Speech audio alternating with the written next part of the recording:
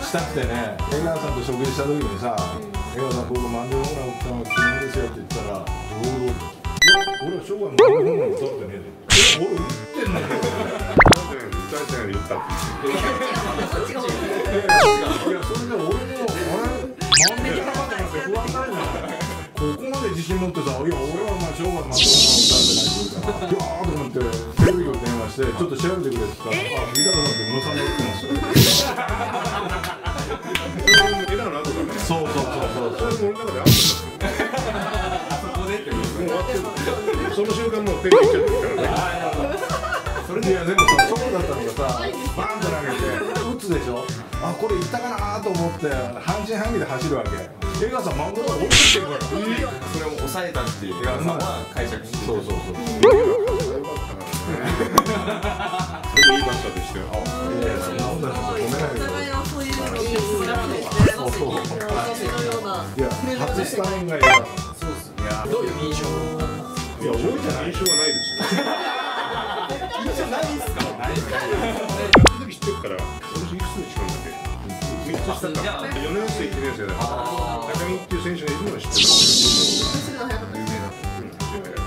すぐの早かったっていうか相手にしてくれなかったランナーで緊張なん。かしないんだいや俺大学の時にさ憧れの江川さんと3年1年で日米野球のセレクションに選ばれた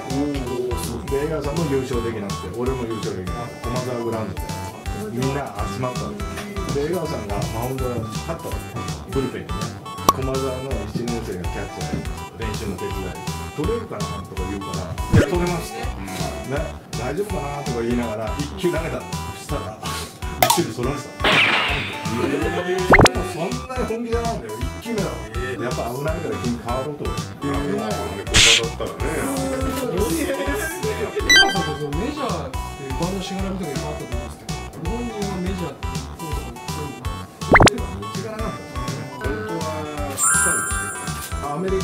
留学してる時に来たんでしょ話それは言えどこか言えないですけどどうぞ言えないけどあでも大谷見てどう思いますいやバッターとしてはすごいピッチャーそれ両方できるのまたすごいですけどねでも江川さんもバッティングすごい良かった僕6年やって二冠王なんですよそうなんですかなかなか三冠王だったすごいです。本当打率が2位だった3割6分40だから大谷君が二刀流やられてるけど僕はびっくりはしてないですでそれ大学でしょ大谷君はバッター主体の二刀流ですわかりますバッタープラス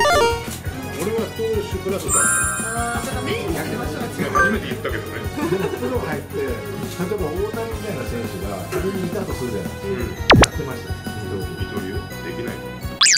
江川さん。きついこと嫌いだもん。ね大谷がよくやってるとだからこのまま行くと壊れちゃうからそうやめた方がいいやっぱどっちかには体壊すと打者としてやった方がいいどちらの方がレベルが高いどっちが高いかって言ったん。ですよ投手のレベルもいいけどね僕はバッターのレベルよりピッチャーのレベルが高いだからバッターは結構打ってるん。ですよまあ大した感じじゃない1割ホームラン何本9年そんなに打ってます9年間ね歴代3位ですよ金田さん堀内さんですよそうですか平川さんも打ってますこれは10本いやい12や27本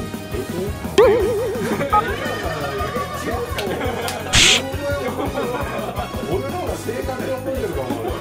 石投げた割には弱かったじゃんまた9年しか持たないお金にならない時真面目にやったからこういうお金にならないことをちゃんと真面目にやる僕はもう彼との中で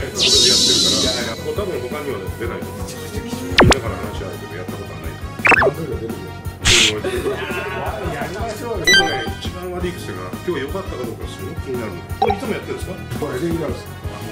じゃあ良かったですかあのいや本当にそれはもっと聞きたい大体乗りツッコミが全然なかったもんね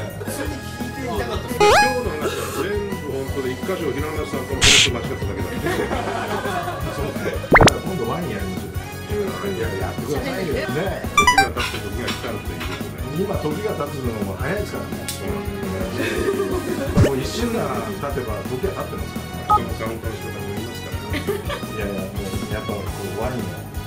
ぜひ教えていただきたい希望としてはお話しできますよでさっき白と赤大笑いしました一回やってみて。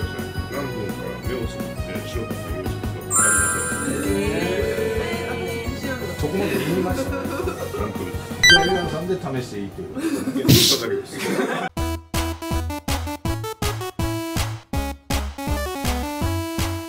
高木豊さんと桐生しかお前だろ、ひとみさん。ちょっとカメラ止めてくれる、本当に。あ